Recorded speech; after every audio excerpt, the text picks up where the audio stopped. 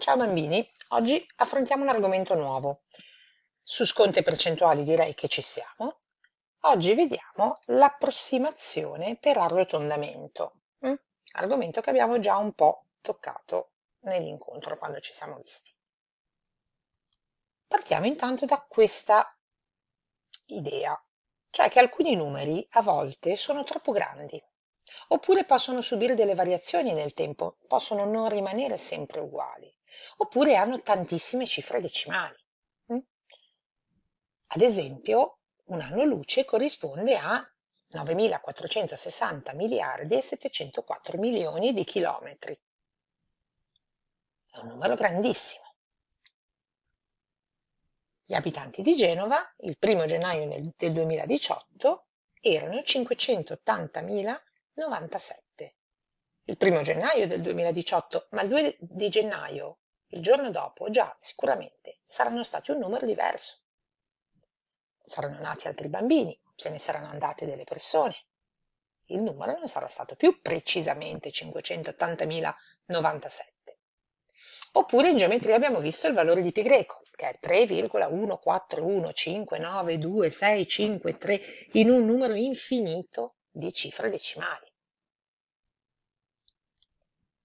È quindi necessario approssimare il numero, cioè indicare un suo valore che si avvicini il più possibile a quello reale, un valore che sia circa quello.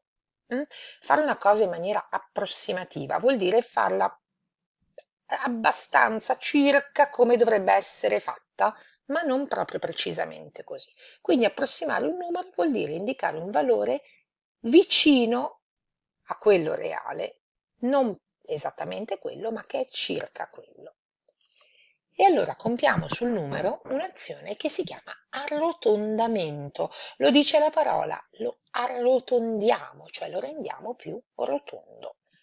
L'arrotondamento può essere fatto per difetto o per eccesso. Cosa vuol dire quando difetto di qualcosa? Vuol dire che mi manca, che mi è stato tolto qualcosina. Cosa vuol dire quando eccedo? Vuol dire che sono andato un pochino oltre, un po' sopra quello che è la realtà. Come si deve fare? Anzitutto io devo decidere a quale cifra voglio approssimare, se alle unità, se ai centesimi, se alle centinaia, se alle decine, dove mi voglio, diciamo, fermare. Poi guardo la cifra che viene subito dopo. Se la cifra è minore di 5, allora arrotondo per difetto, cioè dovrò difettare, togliere. Se invece è maggiore o uguale a 5, dovrò arrotondare per eccesso, dovrò eccedere, cioè dovrò aumentare hm? un pochino rispetto al dato, al numero reale. Ma vediamo bene entrambe le, le operazioni, come si fanno. Partiamo dall'approssimare per difetto e ci riprendiamo il nostro pi greco 3,14159263 sono le cifre che ci ricordiamo dal pi greco dei del secolo, hm? vi ricordate? Però ci si ferma, quando si parla di pi greco, ci si ferma qui, alla cifra dei centesimi, 4. E come mai è 3,14 e non 3,15? Talmente piccola la cifra dei centesimi, non posso dire che è 3,15? No, perché io guardo la cifra che viene subito dopo il 4. È un 1. E l'1 com'è? È minore di 5. Allora devo approssimare per difetto, cioè devo difettare, devo togliere qualcosa. Ed è proprio quello che farò. Cioè io dalla cifra dove mi sono fermata, dai 4 centesimi, tolgo le cifre dopo e le faccio diventare tutte zero. E siccome questa è una cifra decimale, questi zeri è come se non ci fossero. La mia cifra dei centesimi, dei, sì, dei centesimi, il mio 4, non lo tocco. E infatti pi greco è 3,14. Vediamo quest'altro numero, 7,286. Voglio approssimare al 7, alla cifra delle unità. Allora, guardo che numero, che cifra viene dopo. Viene un 2. Lo vedete? È minore di 5, allora devo approssimare per difetto. Cioè tolgo, via, togliamo tutto, sostituiamo con 0 ed ecco che 7,286 è circa 7. Infatti se io lo vado a collocare sulla linea dei numeri, dove sarà più vicino a 7 o più vicino a 8? 7,286. Eh, qua è più vicino a 7. Mm? È circa 7, leggermente di più. Ho approssimato, ho arrotondato per difetto, cioè a 7,286 ho tolto mm, questa parte decimale.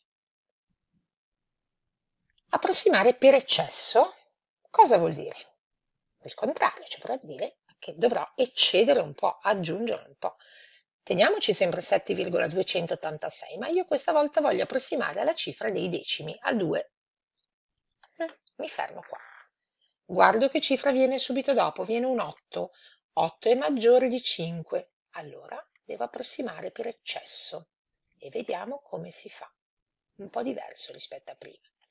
Cioè, di nuovo, tolgo le cifre che vengono dopo e le sostituisco con degli zeri. Ma adesso, siccome io sto approssimando per eccesso, devo eccedere un po'. Cosa succederà alla cifra dove mi sono fermata, in questo caso ai decimi? Devono aumentare di 1. E allora 7,200 diventa 7,300, cioè 7,2 diventa 7,3.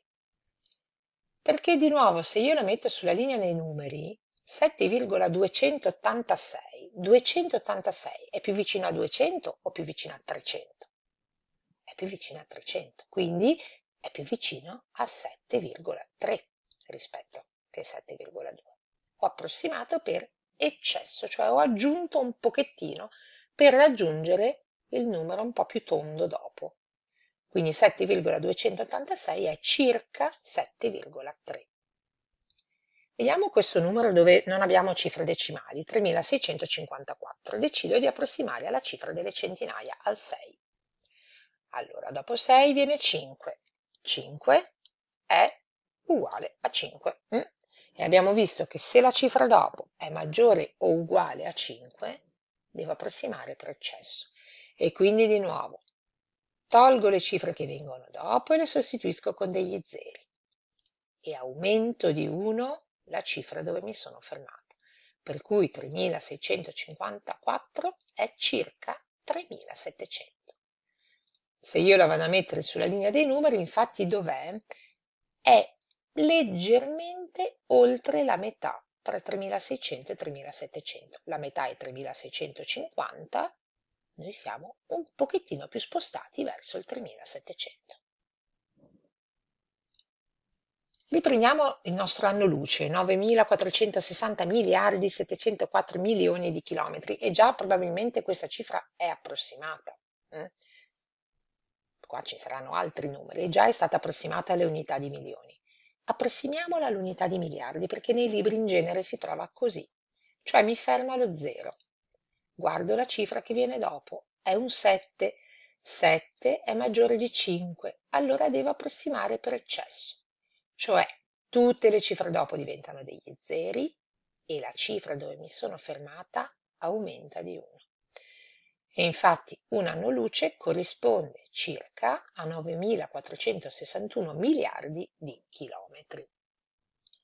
Gli abitanti di Genova il 1 gennaio del 2018 erano 580.097 un, abbiamo visto che è un numero che può variare eh, un sacco di, da un giorno all'altro, da un momento all'altro. Allora lo arrotondiamo alle unità di migliaia, allo zero. Guardo cosa viene dopo, viene 0, che è minore di 5, allora arrotondo a prossimo per difetto, cioè tutte le cifre dopo diventano 0 e io questa non la tocco. 580.097 è circa 580.000. Mm? Gli tolgo queste, questa parte qua e il mio numero approssimato difetta un po' rispetto al numero reale, è un po' più piccolo. Facciamo ancora un'ultima cosa, vediamo questo numero 382,15. Lo approssimeremo a cifre diverse. Cominciamo con approssimarlo ai decimi, cioè mi fermo all'1. La cifra dopo è un 5, che è uguale a 5. Allora io devo approssimare per eccesso.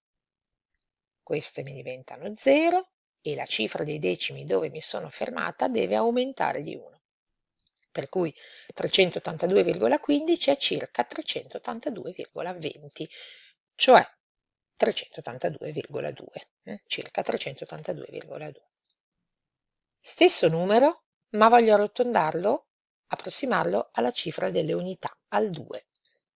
Quindi guardo cosa viene dopo, viene l'1, è minore di 5, allora devo approssimare per difetto, vuol dire che tutte queste cifre diventano 0 e la mia cifra delle unità non la tocco.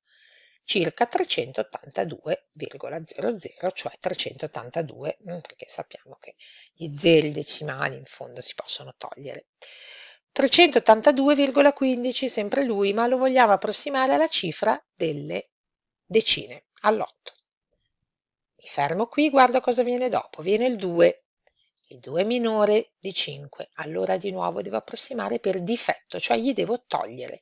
Lascio stare la mia cifra delle decine, il mio 8, e tutte le cifre dopo diventano degli zeri. Quindi circa 380,00, cioè circa 380. Teniamoci sempre 382,15, ma questa volta lo approssimiamo alla cifra delle centinaia. Ci fermiamo al 3. Guardiamo la cifra che viene dopo, è un 8. 8 è maggiore di 5, quindi devo approssimare per eccesso. Tutte le cifre che vengono dopo il 3 diventano degli zeri, ma siccome devo eccedere, devo aumentare di 1 la cifra delle centinaia dove mi sono voluta fermare. Quindi 382,15 è circa 400 ma lo vediamo, no? 382 è più vicino a 400 che non a 300. 382 è più vicino a 380 che non a 390. E via dicendo. Ora prova tu. Approssima questo numero 295,48. Una volta lo approssimi fermandoti alla cifra dec dei decimi poi fermandoti alla cifra delle unità, alla cifra delle decine, alla cifra delle centinaia. Quello che è importante, ricordatevi, è guardare la cifra che viene subito dopo. Se è minore di 5, devo approssimare per difetto, cioè mi fermo lì dove ho deciso e tutte le altre cifre diventano 0. Se è maggiore o uguale a 5 invece dovrò approssimare per eccesso, dovrò eccedere, andare un po' oltre e quindi mi fermo alla mia cifra, tutte le altre diventano 0, ma la cifra dove mi sono fermata deve aumentare di 1, deve eccedere di 1. Ok? Ci lavoreremo, vedrete che vi divertirete tanto Riguardatevi la spiegazione tutte le volte che vi serve. A presto dalla vostra maestra. Ciao ciao ciao!